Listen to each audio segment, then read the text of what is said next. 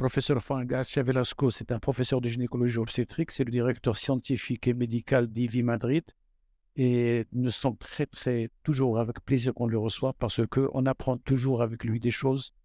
Et j'espère que ça va vous profiter comme je suis sûr qu'il va nous présenter à tous. Donc, à vous la parole. Thank you very much. You have 20 minutes, please. 22, 22. That's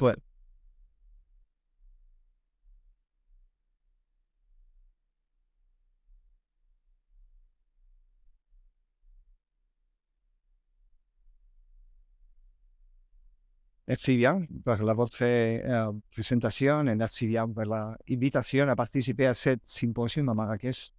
Um, I'll move to English because my French is very limited, but thank you so much for uh, having me here today. And I will try to stick to the 20 minutes that I have to speak about uh, individualized ovarian stimulation, whether it's the present or still the future. The main reason uh, to speak about this is the main reason why we come to meetings. And this is why we come to a meeting. Why are we here today? Because we want to provide better care to our patients, right? We want to improve the success rates. We, we more or less know how to do that, how to make embryos, but we also want to minimize the complications, to increase the efficiency, and to have a better patient experience. And the needs for these patients, for our patients, are not the same. They are different. They change whether we're aiming for a freeze-all or if we're going to do a PGT cycle or maybe a patient with high so obviously we have to adapt according to what they need. So I hope by the end of the lecture, you are not on the on the left side um, sleeping and saying, "Oh, once again, individualized medicine. So what's new?" And more on the on the other side, saying, oh, "Wow, this is something interesting that maybe we should aim for." And individualized care is is involving many many areas that you can see in this busy slide. is is taking care obviously of diagnostics. We we individualize the, the test that we ask for our patients and now moving into genetics and more into uh, multiomics and maybe even AI, artificial intelligence. It's already individualized in the treatments that we apply as, as we do with ART. We don't do the same treatment for all of our patients. We change surgery, we change uh, even medication. And the potential and the future will be obviously in gene therapy, in vitro gametogenesis, microbiota, who knows? This is still future. But personalized medicine is here. We we are moving from segmentation. We used to have, let's say, older patients, younger patients, very simplistic, to personalized medicine, which is maybe within the young patients, poor young, uh, young poor responders, or um, young uh, good responders, to more hyper personalization. This is where we are today. Not not all the poor responders of young age are the same. They are being treated differently according to different biomarkers. So I think today we are happy to have this Poseidon criteria because the Bologna criteria were extremely too tough. They were probably useless. I think nothing that was tried with patients fulfilling the, the Bologna criteria did work. Nothing did work. But Poseidon uh, stratifies in four different groups the patients that have a suboptimal response. And you have clearly these four groups. You have, first of all, age under 35, over 35. So that's a clear definition. And then you have expected poor responders with low AMH and low AFC, or unexpected poor responders in a different age group. So this categorizes four groups that we may uh, do different interventions for different patients. This would be a very simple way to remember where to put our patients. And if we talk about ovarian stimulation, well, we could say we have the ESHRE guidelines. This is the holy grail. Everything is written in the book, so why should we bother? Just take the guidelines and do it. But it's not the holy grail. In the ESHRE guidelines, if you work within the guidelines, everything is fine. But there are many patients who do not fit in the guidelines. We have patients that are different from the common patient from a randomized trial. And we know that these patients need individualized care. Remember the Optimist trial a few years ago? This is a, a study done in the Netherlands that was uh, trying to randomize patients to either 150 units for everyone versus individualized approach. And the conclusion was it doesn't make any difference. Uh, everyone should be treated exactly the same. But then this paper received a lot of letters uh, criticizing the paper, including one of us that was uh, published also in Human Reproduction. And, and the problem is that they randomized 511 patients to receive, as I said, 150 versus either 225 if they had good antral count, or 450 if they had a, a, a lower antral count. But if you look at the outcome of the paper, you can see lower variability in the number of oocytes retrieved. You can see higher number of oocytes in the poor responder patients. You can see lower percentage of poor response, lower risk of cancellation, higher chances of reaching embryo transfer. So there are many reasons to be optimistic. So I, I think the study was slightly biased because it was designed for failure, to be honest. And we know that these poor subgroups, these four subgroups in the suboptimal patients in the Poseidon criteria, they don't do exactly the same. You can see how the outcome, this is cumulative uh, pregnancy rate, is going to be different. You have the, in, in dark blue, you have the young, unexpected poor responders, and in green, you have the old, uh, expected poor responders. So they segregate in four groups. So they, they don't act exactly the same. So how can we be good if we want to be good at what we do? Well, you have different options. You can be precise, but not accurate, which is not interesting. You can be accurate, but but not precise. Um, you can be not precise and not accurate. Then you better find another job, or you can be precise and accurate. This is what we want, right? And we need to get all sides because the more all sides, the better. And we know this from this paper that we published with Nikos Polyzos we reviewed almost 15,000 patients between Brussels and, and Spain. And if you see uh, there's a, uh, in the light blue, there's a decrease in the pregnancy rate when you have too many oocytes in the first cycle. If you look at the cumulative pregnancy rate, you see that it's almost the same. Even though it seems to increase, there's a certain threshold where you don't get more oocytes. If you look at these two uh, points, for example, you see that even though it seems to be better here. This is just outlier, so it's more or less stable. So it seems that after a certain stage, the oocyte that we're retrieving may not be that good. Maybe recruiting from atresia the wrong ones. This is data from the, uh, Denmark, uh, also presented at ESHRE. Again, they showed no benefit beyond 15, even in cumulative. So this is including the frozen. So it seems that up to certain states, the oocytes that we recruit from atresia are not doing any good. And the reason may be here. Maybe we're getting more oocytes. As you can see, in the in the bar here, you get more oocytes with more dose of FSH, but you don't get more blastocysts. The name, the good blastocysts coming from the cycle is more or less the same. So we have to benefit from technology. We have to take advantage of, of the things that we use today. We all have uh, many devices. You all have an iPhone in your pockets. You have uh, computers. So we have to use technology to improve what we do, not only uh, to take pictures, but also to our daily life. And and this is where biomarkers go into into life, right? We use today, we don't use anymore FSH or Estradiol on day three. That's a huge variability there. We all measure antral um, follicle count. We, we it's easy, it's simple, it's cheap. Every one of you have a, a scanner in your office, so you can just put the probe, count the follicles, easy, and extremely robust prediction. If you want, you can use AMH as well. AMH is as robust or slightly better than AFC, but it's more or less the same.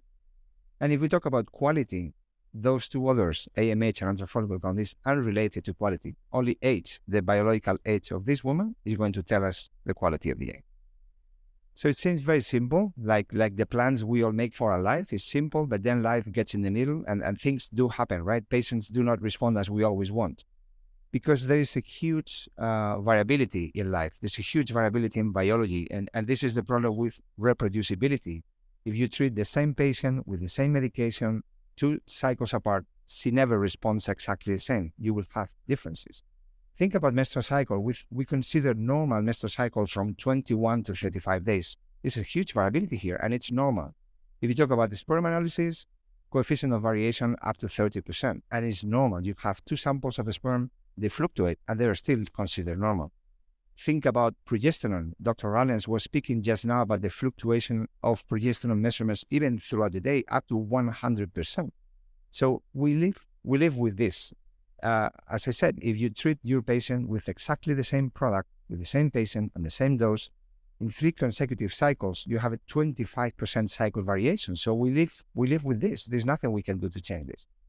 Look at this interesting study published in, in Human Reproduction Open they they made a model to see what may happen after second response. And if you had two women with similar age and AMH, two patients with similar biomarkers, one may do nine oocytes. The other one, according to the model, could do from four to 19. There's a huge variation here. If you take the same patient in the second cycle that did nine oocytes in the first, in the second cycle, she may do from five to 17 without changing anything. So the message of this study was that we truly understand about 20% of the fluctuation. The other 80% doesn't depend on us and or or we do not understand why this happens, but it does happen because we see it on a daily basis. So the problem is, I mean, we, we have to live with this. We have to manage uncertainty. And what level would be acceptable? How much is this going to affect my plans with this patient? Or or can some of this uncertainty be explained? Well, there's things that we know for sure. We know that we do not want to go this far. We don't want to go to uh, 25 or more than 25 embryos. Why? Because then you have OHSS. And this is a paper from the US 2017, so it's quite recent. And these still are uh, showing patients who are going through paracentesis or even repeated paracentesis. This is something from the past. We don't see OHSS anymore, only anecdotal cases in women who cannot be predictable again. But with agonist trigger, this is something past. So why should we go and obtain more than 25 oocytes? No reason for that.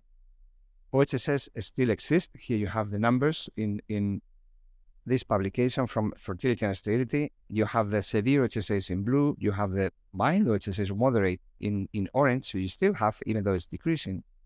It is very interesting because when we go to meetings or we talk to colleagues, it seems that OHSS we don't have anymore.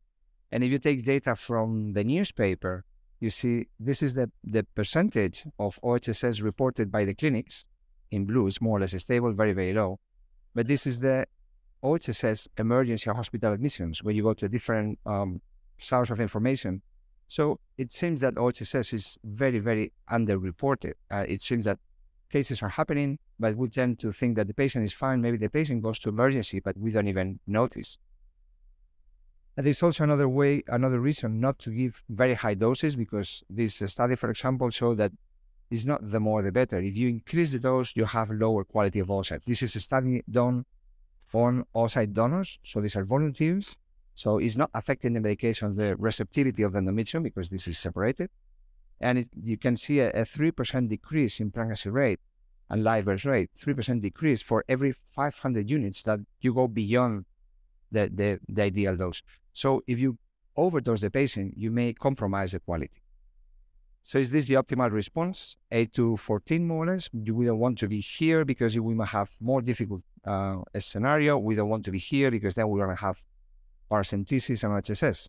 Well, theoretically, yes, because this is what we're aiming. We want to have two or three blastocysts. This is all we want. If we have two or three blastocysts, we're happy because we can try more than once. The patient, if she gets pregnant, she will have one or two more babies. No need to generate too many embryos that we will never use. And to have three or four blastocysts, you need more or less this. You need five or six day three embryos, or six to seven day two embryos, or about 10 to 15 oocytes. But is this good for all? Probably not, because patients, as I said, are different. It's not the same to have a 28 year old patient called Maria. Maybe she wants to have three babies. She still has no husband, and she wants to freeze the oocytes for the future. Maybe uh, you have another patient at 36 years of age, Carmen. She has already one child, and she wants to have just one more baby yes, I want to have more family. What about Elena at 41? She's uh, advanced maternal age and she wants to go through PGTA to minimize the risk of miscarriage. How many oocytes do you, do you need with a 41 year old patient? Or maybe maybe Teresa, which is 31, and she doesn't want to freeze embryos for, for moral reasons. So patient goals are not the same. We cannot have a, the same target for all of our, all of our patients. So as I said, this ovarian stimulation compromising uh, competence. Well, these uh, classical papers show that if you increase the dose uh, uh, and you have high response, you go from, as you can see in the right hand panel, you can see four oocytes in yellow, 4 to 10, 11 to 20, or more than 20. You see that the fertilization rate is the same. So it doesn't seem to be very complicated up to 20, obviously. There are many, many studies. I won't go through all of them, but uh, just as a summary, uh, when you compare natural cycle versus a stimulated cycle, you see no difference in the aneuploidy rate or the spindle structure of the oocyte no difference in the embryo composition, no difference in the missed abortion or miscarriage rate, and no difference in the chorionic villi when they are studied. So it doesn't seem to impact the quality at all. The impact comes mainly from the age, and you have seen this graph many times. You can see there is a huge increase beyond 35. Up after 35, you have an exponential rise in aneuploidies. So you need more oocytes if you want to have euploid embryos. And here you see that the, the risk or the chances of having one euploid embryo increases with the number of oocytes you get in women over 40. So you have to stimulate bases slightly more or maybe do more than one round of IVF to get euploid embryos. But again, high doses does not affect the euploid range. So if you go beyond the, the, dose that you want to give or the, the dose that you were thinking of giving, is not going to compromise the euploid rate. This is a very nice study showing uh, here you have the, the euploid rate. This is the group for under 35, 35 to 37, up to 40 or more than 41. And in the color, you see the dosing. This is uh, less than 3,000 units, uh, 3,000 to 5,000, or more than 5,000. And you can see they're absolutely comparable. They, they only decrease because of the age of the patient, not because of the dosing. And the same with the response here, you see in, in 35 up to 41, again, whether it's 1 to 5, 6 to 10, 11 to 15, or more than 15, you have exactly the same euploid rate. So it's not related to the dose, it's not related to the response, it's related to the age of the patient. Whether the oocytes come from the luteal phase or the follicular phase, again, it doesn't make any difference. You have data from Filippo Ubaldi and from many other groups, including ours, where the oocytes that you obtain in the luteal phase stimulation have the same euploid rate as the follicular phase. And you have ways to assess this. There's new new new ways to assess it. You have the the FORT or the FOI, you know, the, the, the ovarian sensitivity indexes that can help us understand what is happening, especially the the follicular to oocyte ratio or the follicular output ratio. These are interesting uh, patients that sometimes we see a lot of antral follicles that they don't make follicles or they don't make oocytes. And this is what has been published so far. When you have a um, what they call a, a, follicle to oocyte ratio, so follicles that are developed over 16 divided by the oocyte, you get under 50%, you may need to adjust the protocol or you may need even to do a genetic screening of these patients. The genetic screening is not done routinely. It's quite expensive. When we talk about polymorphisms, we don't do it routinely. But you have uh, data showing that, you know, according to these polymorphisms, whether they have serine or argine, you know that you may have uh, to need higher doses when you have these polymorphisms. But remember that polymorphisms are related to the geographic area. So that means that in this uh, nice paper from Manuela Simoni, you can see that the distribution of the SNPs, the variation of these polymorphisms changes. So maybe what works in Brazil doesn't work in Morocco, or maybe doesn't work in Spain or in the Philippines. So every population is different. Remember that because this is, we try many, many times to compare between us many things. And sometimes we have to be specific with the population that we treat. Here you have another demonstration by, by the group in, in, in Denmark showing that with different fluctuations in the SNPs, you will have different pregnancy rates. So it is obviously related we did a study, very simple study, trying to correlate the, the SNP variation in the FSH receptor, as you can see here, and the LH receptor in almost 300 patients, and try to correlate that with the AMH concentration to see if we could identify which patients may benefit from screening. We did these 300 patients looking at, as I said, as the SNPs. Oops, sorry. And we couldn't find any any correlation at all. So the message was we don't need to screen to the general population for polymorphisms, maybe in those cases that they have a, a suboptimal response. And finally, uh, we are moving into the genetics. We uh, come to meetings, we hear about genetics continuously. We go out there to have a coffee, and you have genetic companies. And this is a very recent paper from Science, a very good journal, showing what are the already defined mutations that compromise fertility. So, in the era where we are now, in, in, in 2023, we know that the exome data is coming soon. We we have the, a huge amount of data that we will have problems trying to manage so much information, but it may give us at a very cheap price very soon the identification of issues that may compromise fertility in a couple. And here you have many, many mutations that compromise fertilization of the oocyte, um, arrested maturation in the sperm, arrested embryos in the development, different areas. I don't want to bother you with all of them, but uh, I think it's a very interesting review to understand that maybe very soon, when you have a couple in front of you, before going into repeated treatments and failures, maybe we can tell them the first day, listen, you have this mutation, your oocytes will never fertilize, you may need ICSI. Or maybe you will have an embryonic arrest and you may need another therapy. So finally, to conclude, Mr. Chairman, two simple messages. First of all, when we try to stimulate our patients, I, I, think we have to be clear with the expectations. We cannot overestimate um, what we do, and we cannot generate follicles that are not there. If we do a scan and we don't see antral follicles, or we see two antral follicles, we will never have 10. We will have two. So we cannot generate these follicles, and, and we have to, to be very realistic with the expectations. And second, we have to avoid the illusion of control. We, we doctors tend to think that we have the joystick, we can do anything. And the truth is that we should avoid overestimating the effect of our interventions. Even if we change things, many of this variability does not depend on us. And of course, I, I, I'm a fully believer on, on individualized medical treatment. I think stratification of patients with suboptimal prognosis will help us to maximize the reproductive outcome. Merci beaucoup.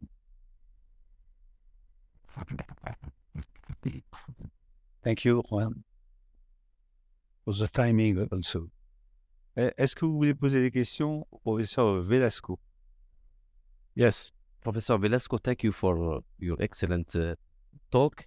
My question is about personalization. I don't believe a lot that it exists if we, we don't talk to high responder.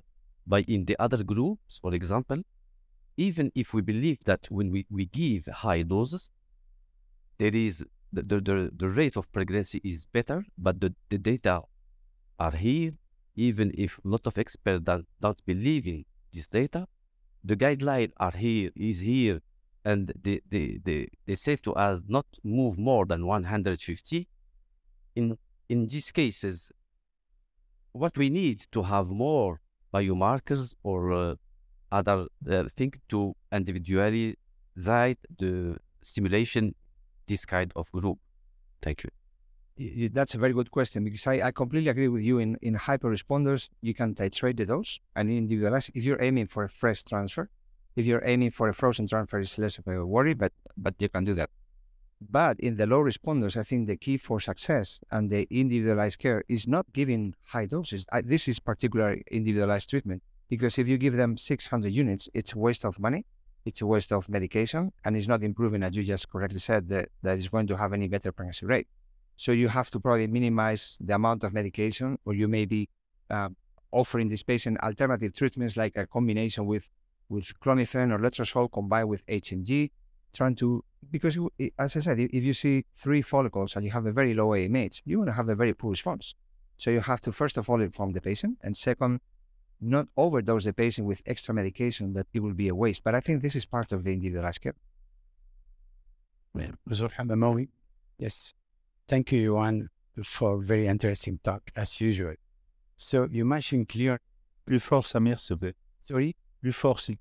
Uh, thank you, Yuan, for very interesting talk, as usual. So you mentioned clearly the variation between intra and intercycles. So maybe it's time to rethink about day two, day three, day four before starting, because uh, as you mentioned, with the same protocol from cycle to another cycle, the ovarian response is not the same. So maybe it's time to rethink before to start to cancel the cycle or to go in order to avoid, for example, to consume 600, 700 euro and to stop uh, the protocol. What yeah. do you think about? Yeah, that's a good point because um, you know the thing when we change med- medications from cycle to cycle, if the patient improves the response, the patient is very happy, and we are very happy, and and they think we're great. But if you change the protocol and the patient diminishes the response, the patient will think, well, we did uh, something wrong, and we are very frustrated. But the truth is the fluctuation exists. So I completely agree with you. I think we we ideally should start cycles when when we want to start cycles. We know we can start cycles almost any day. There's no need to wait for menstruation, but we still do. We still are very classical in the sense we start on day two, day three. But in the first scan, day four, day five, you're going to have a clear picture of what's happening. If you see the cohort of follicles moving, continue. Or maybe it's not a good cycle and it's much better, you suggest that you cancel because otherwise you're going to spend the whole amount of medication, 10 days with three, four scans, medication, and at the end of the cycle, you're going to cancel. And that's a waste at, at, the end of the. And, and it doesn't matter if it's the patient paying from the pocket or if it's the NHS or the, uh, uh, the state or the, the country paying for it because it's a huge amount of money. And we are used to, well, these are expensive drugs, so this is what it is. Well, we can do better than that. If you think of what you can do with that amount of money in your normal life, it's a lot of money. But I think we should be careful on this. And again, I think this is personalized care, not putting everyone on the same protocol, wait for 10 days for cancellation. Maybe an early decision is very important. Thank you. Thank you. Uh, the last question here. Thank you for excellent topic. Uh, my question is according to age under 35, maybe, and up to 35 old, and considering the output rate uh, follicles, the fourth index. Which strategy or what the strategy do you adopt for these two persons? Uh, if I understood correct, you're asking about the women under 35 uh, with a good uh, biomarker. Uh, and what would be the strategy to stimulate the patient? Yes. Okay. Well, in if in a, in a very simple way to express it, if the patient is under 35 with a good um, prognosis, we will use only recombinant FSH and antagonist protocol.